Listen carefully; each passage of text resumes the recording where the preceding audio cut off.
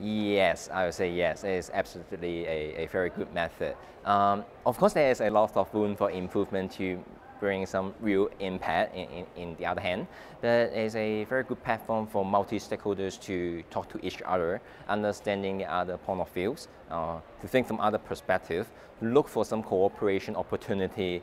Uh, I think it is a, a quite good uh, networking pattern in, in this sense.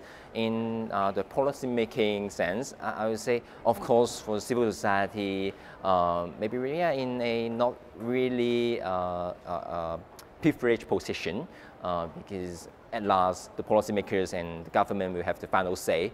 But in this process, they can have a more efficient pattern to connect the views from, from us uh, we can talk face to face, but not just knock to their door and make for some appointment and making some appointment and check the schedule with uh, their secretary. So I think it's a uh, very good platform to like pull everyone together.